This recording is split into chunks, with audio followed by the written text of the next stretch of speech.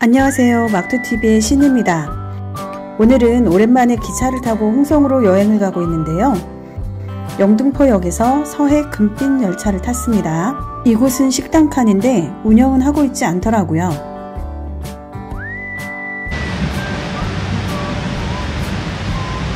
자, 이제 홍성역 도착했는데요. 먼저 지도부터 챙기고 아침 겸 점심을 먹고 관광을 해볼게요. 순대국밥하고 막걸리 하나 주세요. 손님들이 흔적을 많이 남겨놓고 가셨네.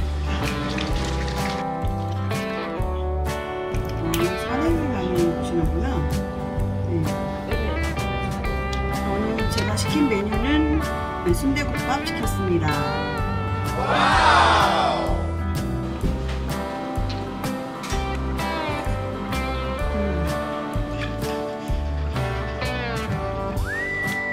홍주 생막걸리를 마시고 있는데요. 혹시 막사를 아시나요? 막걸리에 사이다 섞은 맛입니다. 막걸리 처음 입문하는 사람한테 좋을 것 같아요. 자, 여러분 한 잔 하시죠.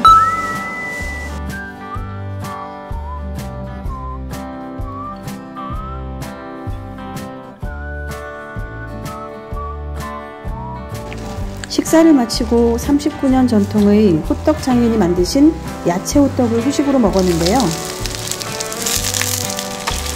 와, 가격 보이시나요? 자, 이곳은 1906년 을사조약의 체결을 반대하는 의병 부대가 일본군을 격퇴시킨 사적지로 유명한 홍주성입니다.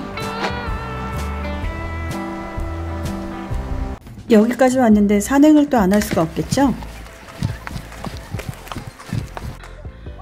용봉산 정상입니다.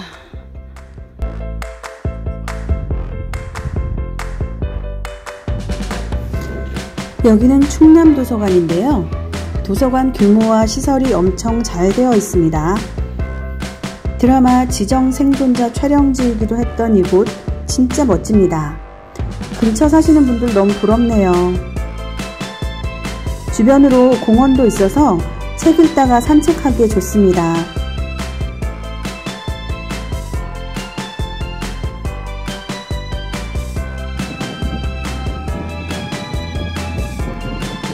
자 여기가 어제 머물렀던 덕원 온천장인데 하루 숙박료 4만원 밖에 안하고 그리고 아침에 어, 온천 이용까지 가능하다고 하더라고요. 목욕 후에는 바나나 우유죠? 예산에 있는 윤봉길 의사 기념관에 왔습니다.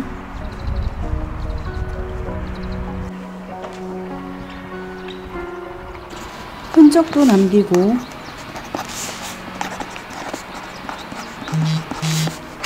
분양도 하고 마음이 숙연해지는 시간이네요.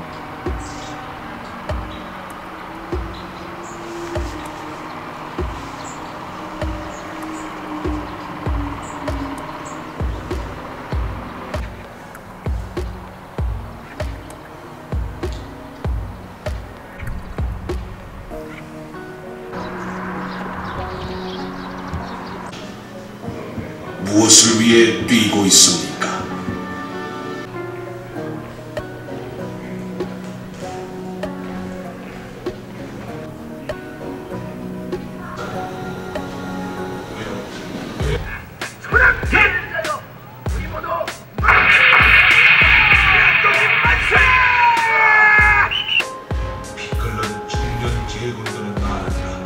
저기 어딘가에 저도 메모장을 달아놓고 왔는데 가시는 분들은 한번 찾아보세요.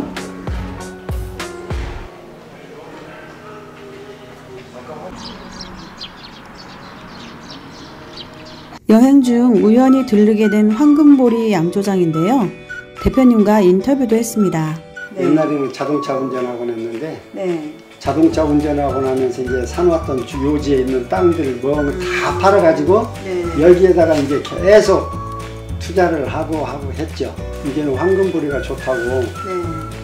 뉴욕, LA, 음, 싱가폴, 중국, 홍콩 이렇게 한 다섯 군데 나가거든요. 원 술을 발효를 시켜서 막걸리를 만든 다음에 그거를 열을 가해서 증류를 하니까 술통을 크게 만들어서 발효를 시키면 귀를 대고 있으면요 아, 술이 네. 막 발효되는 네. 그런 소리에 또 매력이 빠지고 보리는 발효를 시키면 귀를 대보고 있으면은 네. 은은해 이렇게 술도 역시 해보니까 보리는 부드러운 거. 술을 하게 된 동기가 보리를 황금처럼 귀하게 만들자. 보리로 막걸리 술을 한번 만들어 보자. 그래서 술을 만들어 봤어요. 막걸리 만들면은 아까 말씀하신 대로 물을 타서 도수를 맞추니까 보리가 얼마 소비가 안 되는 거야.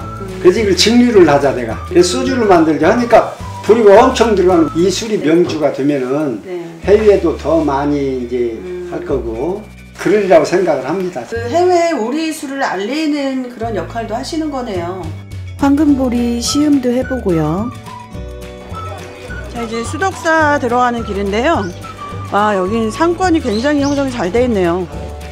수덕사는 덕숭산의 정기를 이은 천년 사찰입니다.